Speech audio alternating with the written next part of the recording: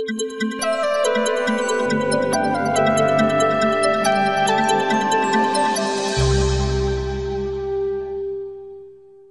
دوستان عزیز با آموزش نقشه زندان باف در خدمتتون هستم. اول از همه می‌خوام بهتون وسایل مورد نیاز رو معرفی کنم. وسایل مورد نیاز این کار ابریشم شماره 6 هستش.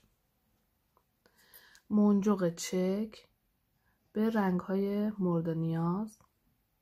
حد اقلش باید دوتا رنگ رو داشته باشین برای اینکه رنگ زمینه و طرحتون باید با هم فرق کنه که مشخص بشه. به این صورت.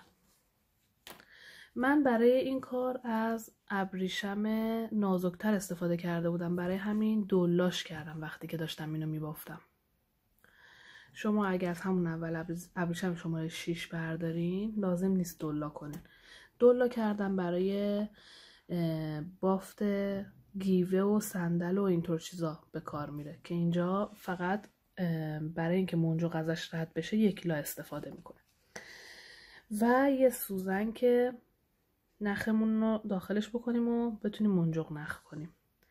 اگر سوزنتون سوراخش کوچیک بود و نخ ابریشم شماره 6 از داخلش رد نمی‌شد یه دونه نخ نازکتر نخ دوخت. داخل سوزن می‌کنین گره می‌زنین. بعد مثلا فرض کنید این الان داخل سوزن منه و گره خورده. بعد نخ ابریشمون رو از داخل این سوراخ داخل نخ رد می‌کنیم که بتونیم منجق نخ کنیم. و قلاب شماره هشت یا ده. من اینجا دارم قلاب شماره ده استفاده می‌کنم. حالا می‌رسیم به بخش نقشمون. برای درست کردن این کار ببینید زندان بافتا محبوبیتشون واسه اینه که یه بافت درو هستش. یعنی هر دو طرف کارمون منجق می‌خوره. هر دو طرف کارمون هم می‌تونه طرح بخوره. می‌تونید هر دو طرف رو یک طرح بدین. می‌تونید یک طرف رو یه طرح بدین یه طرف دیگر رو طرح دیگه بدین. برای این کار باید برای هر دو طرف کارمون نقشه داشته باشیم. اگر بخوایم یک طرح بدیم که یه دونه نقشه کافیه ولی اگر بخوایم دو تا طرح بدیم دو تا نقشه رو کنار همینطوری میچسبونیم. نکته کار این که اینه که وقتی منجق نخ می‌کنیم این چون پیچ می‌خوره جفتشون این شکلی نمیافته. یکی صاف میفته ببینید. یکی به این صورت میفته اینطوری برگردونیم. این نقشه ما کجه؟ در صورتی که اینطوری برگردونیم نقشمون صافه. به این صورت. اگر می‌خواین نقشمون این نقشه اصلیمون و نقشه پشتمون جفتشون یک طرف بیفته این نقشه رو باید برعکس وصل کنیم به این کاغذ بالایی حالا من جفتشو به این صورت وصل کردم. این نقشه منم چون که خیلی مشخص نبود رنگامو عوض کردم و منجقامو می‌خوام دلا بزنم. اینجا یک لا زدم می‌خوام توی نقشه جدیدم دلا بزنم. برای همین نقشم رو اینجا دلا تهیه کردم. ببینید کنار هم دو تا خونه رو رنگی کردم به این صورت.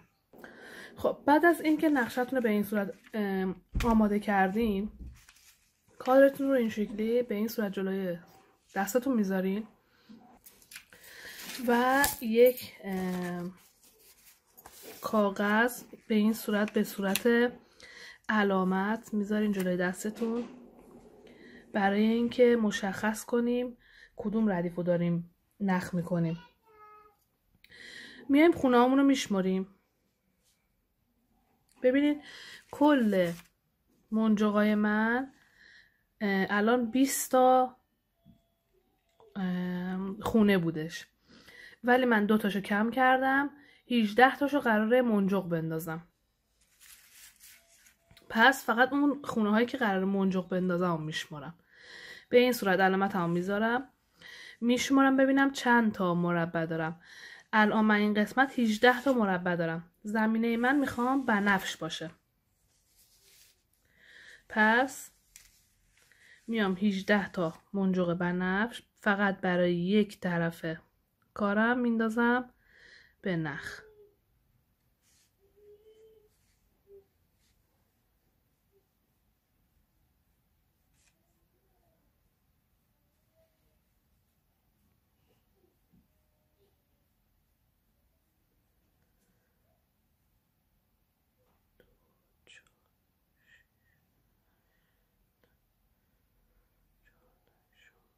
18 18 تا منجق فقط برای یک طرف کارمه. چون که نخم نخ ابریشم شماره 6 هست یه خورده منجقا ممکنه اولش با مشکل رد بشن از داخل نخم و سوزنم. ولی می‌تونم یه دونه از این انبارای کوچیک بگیرم دستم. به این صورت. و مهرامو بفرستم بره پایین.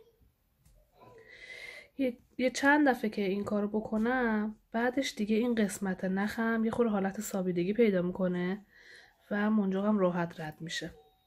حالا باید برای طرف دیگه نقشم ببینین من الان 18 تا برای یک طرف نقشم انداختم.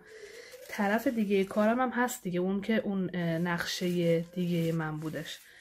اون طرفم 18 تا منجاق بنفش میندازم. برای طرف دیگه کارم. به این صورت. به این صورت. من بافتم رو طوری تنظیم کردم که اول دو ردیف 18 تایی منجق به رنگ زمینه داشته باشم بعد تر هم شروع بشه. پس این دو ردیف 18 تایی رو مثل همونی که بهتون گفتم داخل منجق می‌کنم. بعد می‌رسم به قسمت تهدار و بهتون نشون میدم. خب ببینید دو ردیف انداختم. نخمم تغییر دادم به این صورتی که بهتون گفتم. چون که به احتمال زیاد اینطوری بهتر رد بشه. حالا میام توی قسمت طرح دارم قسمت طرح من از, از اینجا شروع میشه. میشمارم ببینم چند تا خونه بنفش دارم. یک دو سه چهار پنج تا خونه بنفشه یک دو سه چهار. پنج. چهار تا خونه سفیده. یک دو سه چهار. بقیهش دوباره بنفشه یک دو سه چهار پنج شیش هفت هشت نه تا بنفش. یک دو چهار پنج شیش هشت نه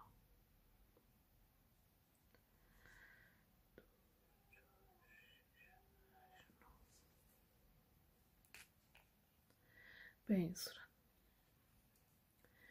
اینا رو میفرستم میره پایین. برای طرف دیگه کارم هم که هنوز به تر هم نرسیدم. ببینین. برای طرف دیگه هنوز به تر هم نرسیدم. برای همین همه رو بنفش می‌زنم. یعنی 18 تا بنفش برای طرف دیگه کارم می‌زنم.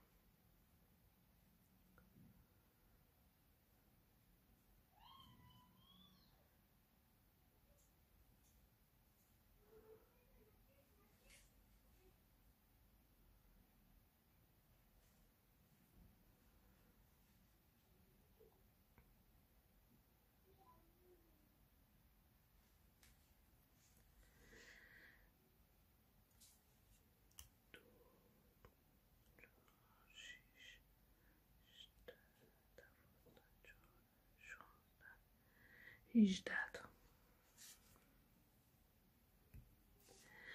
اینا رو دقت کنین دقیقا اندازه هایی که توی جدولتون دارین بزنین چون که وسط کارتون اگر کم و زیاد بزنین مدلتون به هم میریزه. خب به این صورت. حالا میرم ردیف بعدی. الان میریم ردیف بعدی. توی ردیف بعدی سفیدامون بیشتر شده. به همین ترتیب میشمریم. نقشمون رو ادامه میدیم تا برسیم به قسمت تهردار وسط. ببینید به قسمت تهردار وسط که رسیدیم من به این ترتیب مستقیم برای این یکی رفتم پایین. یعنی از این بالا که منجق نخ کردم بعد رسیدم به طرف دیگه و طرف دیگر رو منجق نخ کردم. به این صورت. که به این صورت در اومده. الان می‌خوام این سری برعکسش امتحان کنم. یعنی اینو از این سمت از بالا به پایین امتحان کنم. اینو از پایین به بالا امتحان بکنم. ببینم تر هم دوتاشون یک طرف میفته یا نه. شما می‌تونین اگر می‌خواین همین شکلی بشه می‌تونین از همین طرف از سمت چپ شروع کنین به سمت راست برین. نکته بعدی اینه که حتما حتما اگر شما از بالا به پایین دارین میرین رج بعدی هم از بالا به پایین برین. نه این ردیف بعدی رو از این سمت شروع کنین برین اون سمتی. چون نقشتون به هم میریزه. به همین ترتیب کل نقشتون رو داخل نخ میندازین و بعد بافتتون رو شروع می‌کنین. یه نکته دیگه که باید بهتون بگم ببینین اگر بافتتون رو طرف اشتباهی شروع بکنین مثلا ببینین من طرف منجق دارم وقتی که میبافتم اگه طرف منجق دارم و طرف اشتباهی مینداختم یعنی به این صورت یعنی از این سمت شروع می‌کردم منجق نخ کردن می‌رفتم به اون سمت. بعد موقع بافت بافت من برعکس میافتاد. ما حتما باید از انتها بافتتون رو بندازین داخل نخ و بعد شروع به بافت بکنین که طرحتون درست در بیادش. به همین ترتیب منجاقتون رو نخ می‌کنین طرحتون رو درست می‌کنین و طبق فیلمی که براتون فرستادم برای بافت بافتتون رو شروع می‌کنین و کارتون رو به انتها میرسونین.